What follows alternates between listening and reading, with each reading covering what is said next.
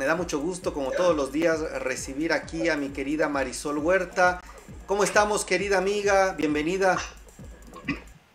¿Qué tal, amigo? Bien, buenas tardes, buenas tardes a todo el auditorio. Pues nada, igual siguiendo el tema de los mercados financieros el día de hoy, este, pues con noticias interesantes como, como siempre los mercados, ¿no? Perfecto, amiga, pues bienvenida como siempre y adelante con el reporte. Pues mira, comentarte que los mercados iniciaron en la mañana a la baja, estaban muy muy cautelosos los inversionistas, como te había señalado ayer, había cierta inquietud del día de hoy, Jerome Powell, el presidente de la Fed, iba hizo una comparecencia al Senado son dos días de comparecencia, pero bueno, a los inversionistas les interesaba mucho la postura que tiene el Banco Central con respecto a lo que ha estado sucediendo en las últimas semanas, sobre todo, como te decía ayer, el incremento de la tasa de los bonos que estaba elevado, los temores por la inflación y el paquete de estímulos. Al respecto, eh, él tranquilizó a las operaciones financieras. De alguna manera, los inversionistas este, estaban en una señal de las tasas de interés. Recuerda que están en niveles muy bajos y se pensaba que podría dar alguna señal de que estas pudieran elevarse ante las fuertes presiones que está observando ahorita el mercado. Sin embargo, él dijo que la inflación, él al menos todavía la ve sueva, la Junta de la Reserva Federal todavía no ven que la inflación sea un peligro para la economía de Estados Unidos y esto, bueno, fue interpretado de manera positiva, una señal que, que vieron de que no va a haber movimiento en las tasas de interés. Hizo mucho énfasis en el tema de la vacunación en Estados Unidos, dijo que finalmente el hecho de que la población esté vacunada es algo que, va a permitir la reactivación de la economía. Y bueno, finalmente enfatizó en este sentido con, los problemas que se habían estado señalando de la, inflación, pues que esto por el momento no lo iban a considerar. Y eso tranquilizó a los inversionistas que, como te digo, estaban un poquito preocupados por, este tema, sobre todo por el tema de las tasas de interés en el corto plazo. Y lo que vemos es que en estos momentos los mercados están cerrando de, forma positiva. Eh, los mercados como el Nasdaq, que eran los que habían tenido la mayor caída y estábamos viendo estaban saliendo de las empresas tecnológicas, eh, están regresando los inversionistas al mercado un poquito por la visión de largo plazo. Recuerda que este segmento de tecnológicas es donde están todas las empresas que han tenido la mayor alza, que están de alguna manera anticipando un mejor desempeño de la economía de Estados Unidos y bueno, donde los inversionistas estaban poniendo sus apuestas. Entonces, en estos momentos el mercado está prácticamente cerrando. El Nasdaq está a 0.19, se acaba de rebotar, el S&P 0.42% y el Dow Jones está con una alza de 0.2%. Eh, todos en terreno positivo. Y bueno, pues al interior noticias interesantes, hubo reportes en la mañana, tenemos reportes que destacar como el de Home Depot.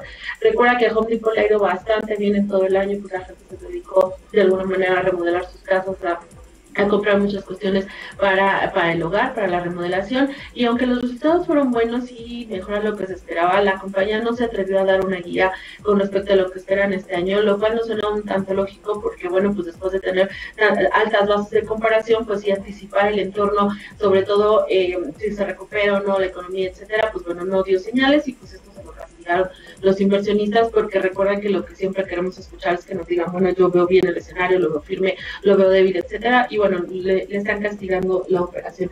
Otra de, bueno, dentro de las otras noticias interesantes, Shopify, una compañía de Estados Unidos, está planeando hacer un lanzamiento de accionario, una oferta pública, espera recaudar cerca de más de mil millones de dólares. Aquí el mercado está viendo en este sentido el hecho de que empiecen a estar el proceso de, ofertas públicas de manera positiva. Recuerda que también esto te da señales de optimismo, de certidumbre, o sea, tú no te atreverías a hacer una oferta en un mercado al que ves temeroso o que ves demasiado adelantado. Entonces, pues bueno, cuando salen estos anuncios también eh, son señales positivas respecto a que se observa una mejor visión en el entorno de, los, de las operaciones financieras.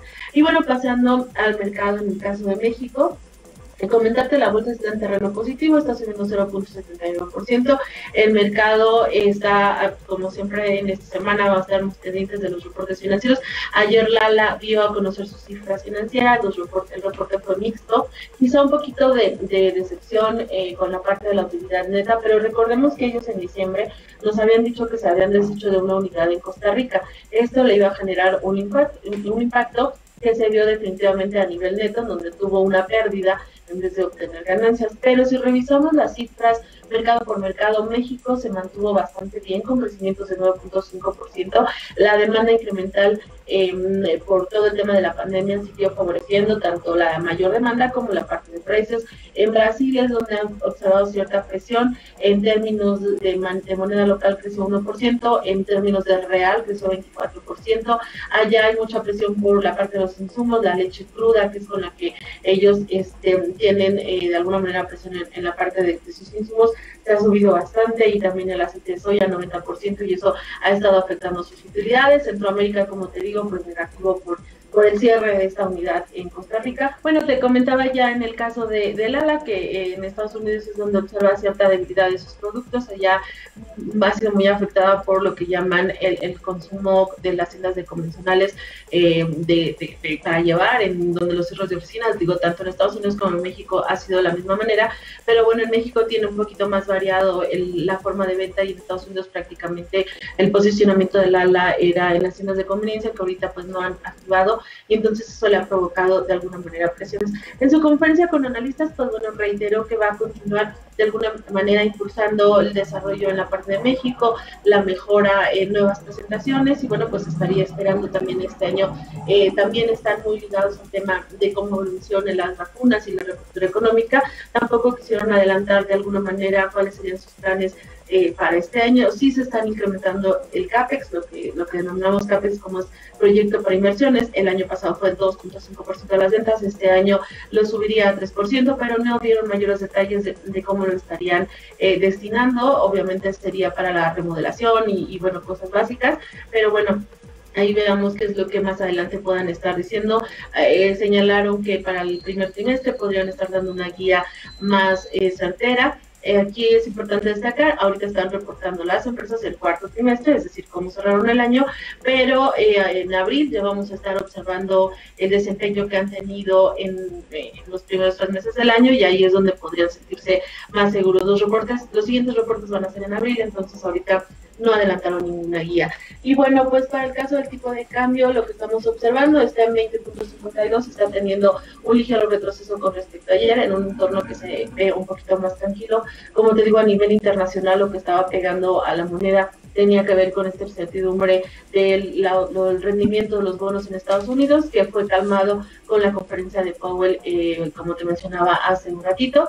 Y finalmente en temas de pandemia, bueno, pues eh, en Estados Unidos Em, dieron un reconocimiento y a, los decesos que se han dado apoyo. Eh, cerca de 500 mil personas han fallecido en Estados Unidos, 2.5 a nivel global. Y entonces, bueno, aquí el mensaje de Joe Biden para la economía y, bueno, supongo que el mensaje que debemos continuar todos es debemos seguir em, incrementando todo lo que es el uso de la careta, eh, las medidas de distanciamiento, porque bueno, pues es una situación difícil, son desafortunadamente demasiados excesos y bueno, él está incitando nuevamente a la población a continuar con todas estas medidas de seguridad en la medida que el proceso de vacunación va avanzando y que se logren los objetivos que se han planteado.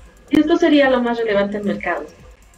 Mi querida Marisol, pues nos dejas pensando, nos das mucha información sobre reportes, lo que está pasando en los mercados a nivel internacional. Nada más, eh, un poquito si nos puedes contar, tenemos un minutito amiga, ya está por ahí mi entrevistada, pero que me gustaría que nos platicaras el tema de los reportes en México. Vamos, ¿cómo vamos? ¿Cuál es tu percepción? Ya nos has platicado de Estados Unidos, ayer precisamente nos habías dicho, pero ¿cuál es tu sentir eh, con los reportes de México? Mira, ahorita en el balance todavía estamos a menos de la mitad de, lo, de la información financiera, eh, se están viendo de alguna manera mixta. La verdad es que las empresas más importantes estarían dándose a conocer entre mañana y pasado. O sea, mañana tenemos a grandes corporativos como Gruma, como Bimbo, eh, que ya de alguna manera, este, pues bueno, pesan dentro de las operaciones del mercado accionario. Eh, todavía nos faltan algunos más importantes. Entonces, la verdad es que el balance, como todo se va a juntar esta semana, ahorita no puedo decirte, están mixtos. Eh, y las guías de alguna manera que han dado, como te señalaba ayer, aquí lo importante es que la gran mayoría sí está hablando de mayores inversiones, eh, si están hablando de dividendos, y bueno, esto lo que te genera es una sensación positiva de que están confiando en el desarrollo, en el crecimiento de la economía, o al menos este 3.5% que se está esperando que tenga México de desempeño respecto al crecimiento económico, eh, y sea un impulso para las empresas, y entonces se ve esa confianza. Puedo decirte que, que la señal es positiva, pero ya en términos de números tendremos todavía que esperar. Perfecto. Pues como siempre, mi querida Marisol Huerta, analista senior de Banco B por Más, gracias por estar aquí con nosotros, amiga. Te mandan muchos saludos, Mariel Medina, Diana Villegas, Josué Aguilar, Elia Ríos, Marta Claudia Alma, en fin. Muchas gracias, amiga. Saludos a todos, hasta luego.